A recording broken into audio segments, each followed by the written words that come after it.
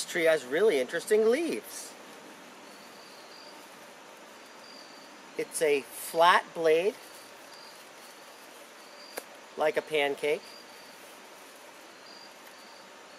It's simple, one blade, one petiole. And now I'm going to look at the margin. There's little bumps, or called teeth. There's no lobes, no lobes, and teeth. And there's only one primary vein. So this really cool leaf has teeth, no lobes, and one primary vein. Hmm. I think I've seen a leaf like this before.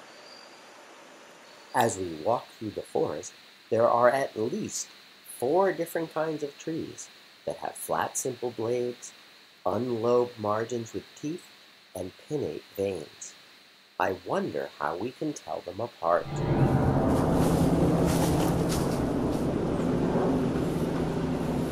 When leaves look similar, to tell them apart, look closely at their bark. The beech tree bark is the bark that's the most smooth, just like sand at the beach. It's light gray and it's very, very, very, very, very, very smooth.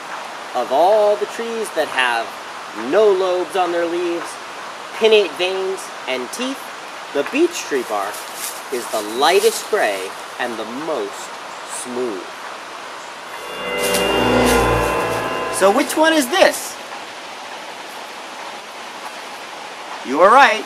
It has the light gray bark that's very, very smooth. Another beech tree. Another beech tree.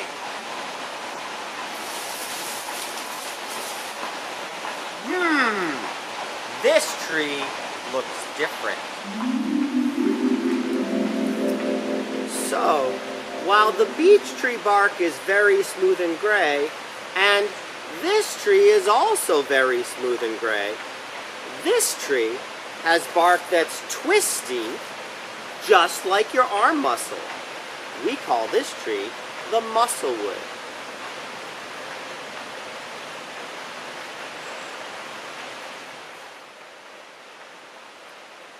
So the beech tree and the musclewood tree have very similar leaves. In fact, the beech tree is smooth, the musclewood tree is also smooth, and twisty. Beech tree, musclewood tree. Both of them has similar leaves. The elm tree bark is not smooth. The elm tree bark has ridges. These ridges sometimes go down and up, sometimes they go a little bit side to side. So the elm tree has leaves that are similar to other trees, but the bark is very different because it's not smooth and it has ridges that are going a little bit side to side and a little bit up and down. The elm tree.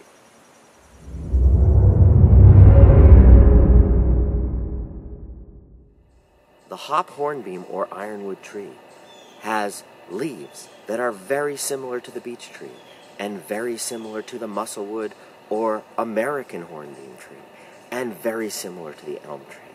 But just like the others, the ironwood or hop hornbeam tree has bark that's very different. The other ones had smooth bark or deep ridges. The hop hornbeam or ironwood tree has bark that kind of peels off. If we look closely, there's little lines on the tree.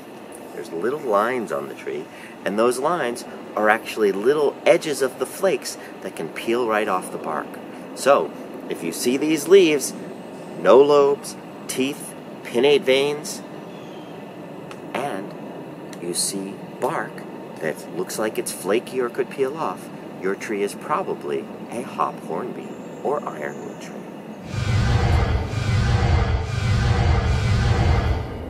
The beech tree. Musclewood or American hornbeam. The elm, and last but not least, the ironwood or hop hornbeam. All of these trees have very similar leaves and very different bark.